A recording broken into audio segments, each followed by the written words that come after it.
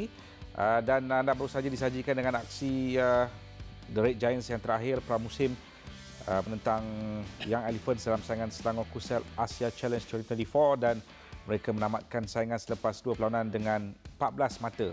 Uh, macam mana kiraan dia tu? Sebab ada 6 mata daripada kemenangan, selebihnya menerusi jaringan yang direkodkan. Satu gol, satu mata. Begitulah formatnya dalam saingan kali ini. Ada yang menganggap ia sesuatu yang unik, bonus untuk mencari gol. Ada yang merasakan mungkin yang mengurangkan nilai kompetitif. Tapi uh, saya percaya dengan dua kemenangan ini, uh, ia mungkin mencapai ataupun adakah ia mencapai kemahuan ataupun keperluan Selangor dalam pre-season sebelum menuju kepada permulaan Liga?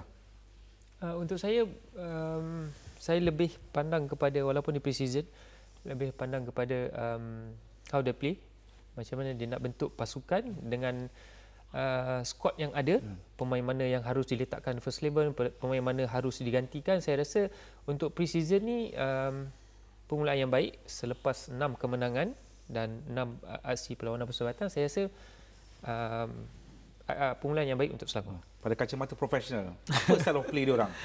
Ah, kita dapat melihat mereka proaktif, mereka ingin menyerang, uh, mereka menggunakan masa pre-season ini dengan untuk melakukan uh, rutin-rutin set play dalam perlawanan, membuat penukaran pemain, uh, tactical uh, tidak banyak berubah kalau compare to last season dari segi tactical lah. Tapi um, sekarang persoalan ada juga persoalan. Hmm. Mereka dah bertemu semua pasukan yang hmm. bagi mereka mereka hmm. superiority lah. Nampak Selangor ada superiority. Hmm.